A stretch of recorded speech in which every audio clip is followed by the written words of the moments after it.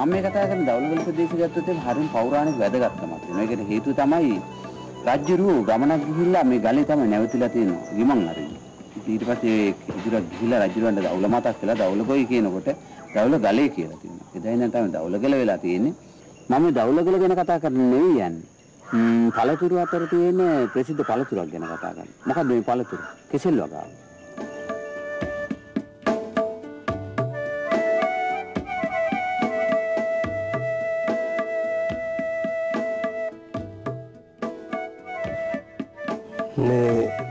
වගාව ගැන කියනවා නම් මේ වගාව මම පොඩි කාලේ හිටම මේ මේ වගාවට ආසා වෙච්ච මිනිසෙක්.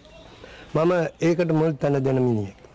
මම මේ වගාවෙන් මම පටන් ගත්තේ මම අවුරුදු 17 18 ඉඳලම පොඩි කාලෙන් හිටියත් බොහොම වේගෙන් පටන් ගත්තා. පටන් ගන්න ඒ වගාවෙන් මම සාමාන්‍යයෙන් ගෙඩි 160ක් 70ක් විතර මේ කෙසල්කම් වලින් කඩලා හදලා ගන්න පුළුවන්කමට ලොකු කෙසල්කම් වටනා මේ මං හදපු වගාවේ. ඒ වගාව වගාවෙන් එන මුදල මම මම පොලි අර මේවා අහුවෙන්නේ නැතුව ඒ මුදල මම වෙනමම තැන්පත් කරලා තිබුණා බැංකුවේ. හැබැයි මේකේ මේ කේල්කම් මෙච්චර ලොකුට වැටෙනවා කියන එකේ මම ඒකේ තියෙන රහසක් ඒ නිකං කේල්කම් වැටෙන්නේ නැහැ. කේල්ග කේල්ගක් හදලා ඉවර වෙලා ඒක පෙළ කට්ටිය හදනවා හදලා ඉවර වෙලා ආයෙ කේල්කම් කපන්න තමයි යන්නේ. ඒ කපන්නේ තුදල් දාලා දෙක තුනක් කපලා ඉතින් කේල්කම් කේල්ගස් හදනවා. ඒ කවදාවත් ඒක හරියන්නේ නැහැ. මම අපේ උපදේශක මහත්මයලා ඇවිදින් මට කිව්වා අඩි දෙකේ වලවල් කපන්න කියලා. අඩි දෙකේ වල මන්දි. මම කල්පනා කරා සනීපෙන් ඒ මුල් කොච්චර දුවන්න පුළුවන්ද ඒ තරමට ඉඩ තියෙන්න ඕන කියලා අඩි 3 3ට මම අඩි 3යි 3යි දෙකයි කැපුවා වල.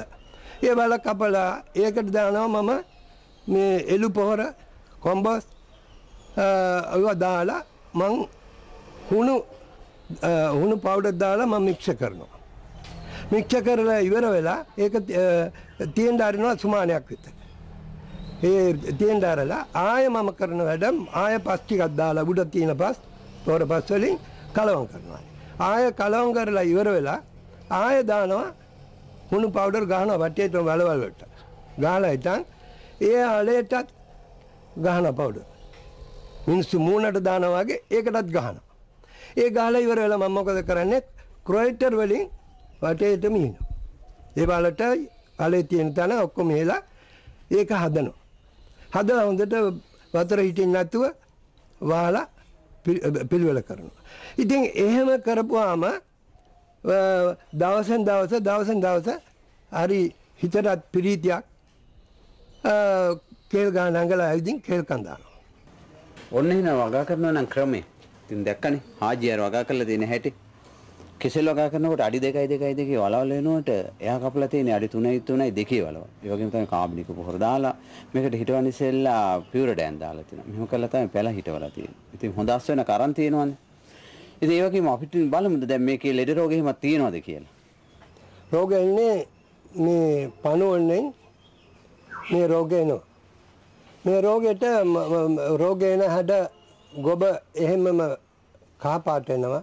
කහපාට ඇවිදින් අතු එක එක අතු කැඩලා කැඩලා කැඩලා බිමට නැමෙනවා. ඒක සම්පූර්ණ මම කරන බෙහෙත් ඒකට ඒ අලෙත් එක්කම ගලවලා වත්තේවත් කියන්න එක කපලා කොටලා අයින් කරනවා. අයින් කරලා ඉවර වෙලා මම කරන්නේ මොනවද? හුණු ෆියරඩන් එතකොට ඒකට මම පොඩ්ඩක් මේ මේවා යූරියත් කලවම් කරගන්නවා. ඔය තුන් බංගුවම පොඩ්ඩක් කලවම් කරලා ඒ වලට සම්පූර්ණම ඒ ගලවපු තැනට ගහනවා. ගහලා ඉවර වෙලා වටේටම මුල්ලු පාර දීලා මුල්ලු හිල් අස්සට යන්න පවුඩර් ගහනවා. ගහපුවම අනික් ගස් වලට කොහමදත් එක ගහකටවත් මෙච්චර කාලයක් වෙනවා හැදිලා නැහැ.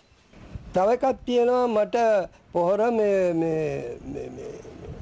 මේ මේ මේ රට පොහොර දාන්න මට උවමනාවක්ම නැහැ. මම රට පොහොර පාවිච්චි කරන්නේත් නැහැ. ওই ඩිංගක් ඔය යූරියා මික්ස් කරගත්තට මොකද?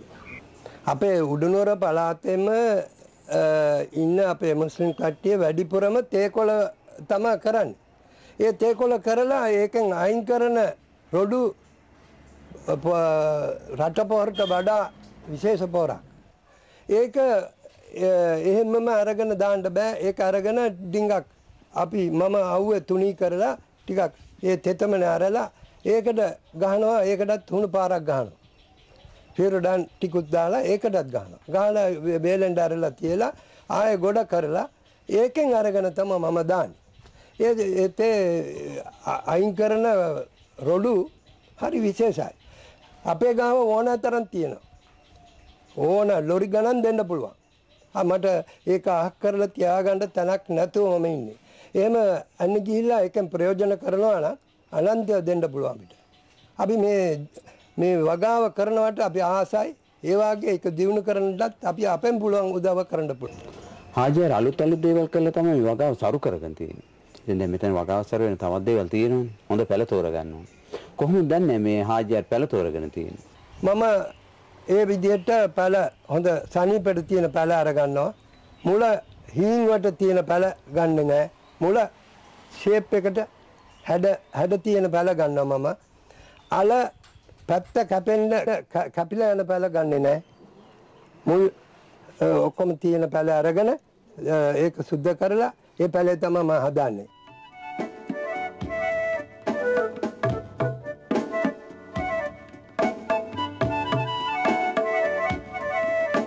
ඕනම දෙයකට ගුරුවරෙක් ඉන්නවා. ඉතින් මේ වගාවටත් මේ ගුරුවරකම් දෙන්න ගුරුවරෙක් ඉඳලා තියෙනවා. එයා තමයි මේ තලවතුල් කුස්කරුන් ප්‍රදේශිකාව හීමනිගේ මහත්මිය.